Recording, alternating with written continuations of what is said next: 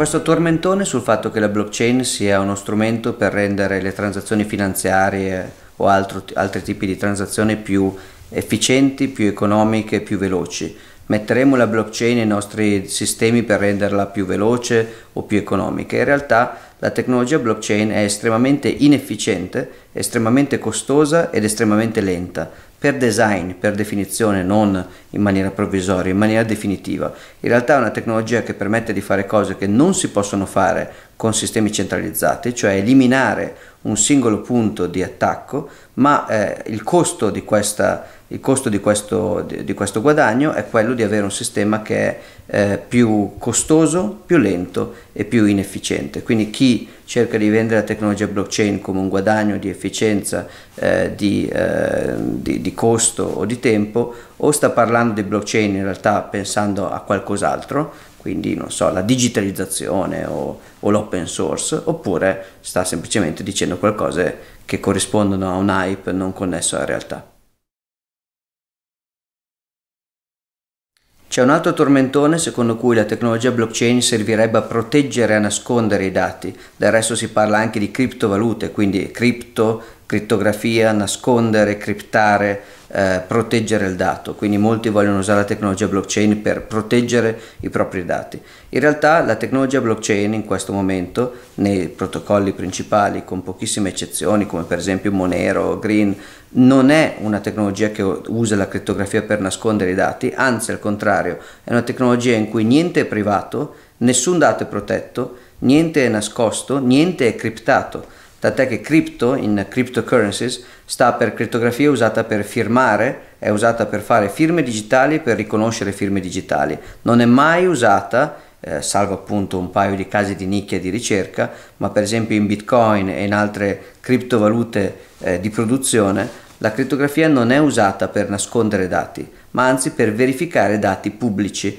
quindi non esiste l'utilizzo della tecnologia blockchain con la funzione di nascondere o proteggere i dati. La crittografia applicata può essere usata per nascondere i dati, ma non in senso stretto la tecnologia blockchain.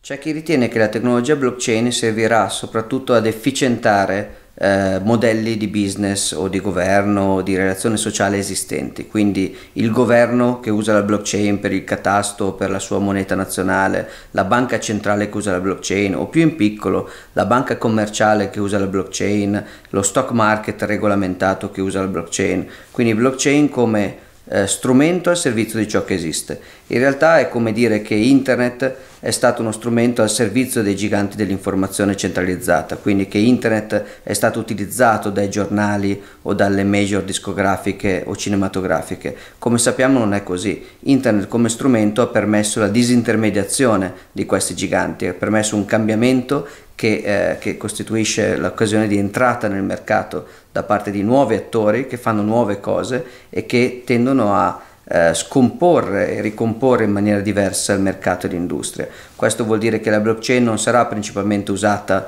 dai giganti della finanza per efficientare le loro, le loro transazioni, ma da outsider della finanza che non possono entrare in questo mercato per cominciare a scambiare valore tra di loro. E questo si estende a ogni possibile applicazione. Come abbiamo visto, la blockchain non è uno strumento di efficienza, risparmio costi, risparmio tempi o di guadagno di privacy, anzi è uno strumento in cui si perde tutte e quattro queste caratteristiche, ma con il vantaggio di eliminare i singoli punti di attacco e senza i singoli punti di attacco è possibile fare cose che oggi non è possibile fare perché oggi sarebbero censurate da normative, regolamentazioni, burocrazie, posizioni di vantaggio degli incumbent. Si dice che la tecnologia blockchain serve soprattutto ai criminali, o meglio, eh, quando si parla di questo si tende ad additare direttamente il, loro, il prodotto della tecnologia blockchain, quindi le criptovalute e soprattutto la criptovaluta per eccellenza, la criptovaluta di produzione, quindi Bitcoin. Bitcoin serve soltanto ai criminali. In realtà non è così, ad oggi non è così per ovvi motivi di matematica. La liquidità e la profondità di mercato di Bitcoin non consente un utilizzo significativo all'interno delle principali attività criminali. Pensiamo al riciclaggio, non esiste liquidità sufficiente per fare riciclaggio eh, non usando il metodo principale per il riciclaggio che sono le banche regolamentate, la, eh, le regine del riciclaggio in questo momento. Anche per quanto riguarda il traffico di armi, il terrorismo, gli, gli scambi avvengono in, uh, con strumenti consolidati, liquidi, eh, quindi banche compiacenti o scambi di contante in genere in dollari americani prodotti dalla Federal Reserve. Quindi ad oggi non è vero che Bitcoin può essere usato per scopi criminali in, eh, in quantità o in, in volumi eh, in qualche modo rilevante. Un domani sarà vero che la tecnologia Bitcoin verrà utilizzata per scopi criminali? Assolutamente sì. È vero per Bitcoin, è vero per le automobili usate per le rapine in banche, è vero per gli schermi dei computer e le tastiere usate per ogni genere di crimine informatico, è vero per eh, il fuoco che è usato per applicare, applicare incendi dolosi. Ogni tecnologia può ovviamente essere usata anche per scopi criminosi, le uniche tecnologie che non sono usate per scopi criminosi sono le tecnologie che non funzionano.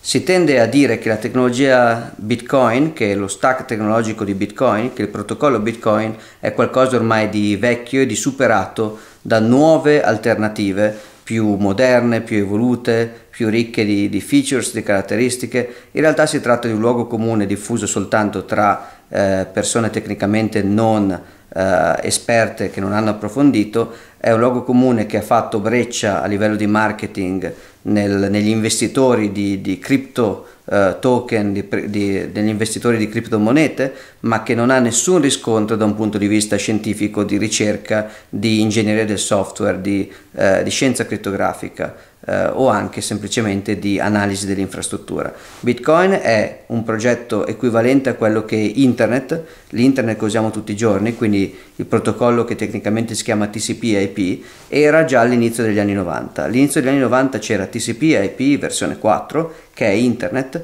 che era praticamente la regina dei protocolli di, eh, di, trasmissione di dati. C'erano delle alternative, molte persone hanno cercato di spingere alternative, aziende, governi, individui, tutte queste alternative hanno goduto di una pubblicità anche molto più forte di internet, pensiamo ai protocolli ISO-OSI spinti dai regolatori contro il protocollo internet, ma tutte, oppure eh, protocolli spinti da Intel, da, eh, piuttosto che da IBM, piuttosto che da Xerox Tutte queste alternative sono morte nel corso degli anni 90, lasciando l'unica vera alternativa che aveva un dislivello enorme di serietà di sviluppo, di eh, rigore scientifico, di, eh, di, rigore di programmazione, eh, che hanno cominciato ad attrarre i migliori cervelli, i migliori cervelli dell'industria e invece relegando i peggiori cervelli dell'industria ai progetti alternativi. Bitcoin attualmente è una tecnologia, è una, è una serie di tecnologie che non hanno paragoni nel resto dell'industria open source. Si tratta del, del, progetto open source con maggiori risorse intellettuali al mondo.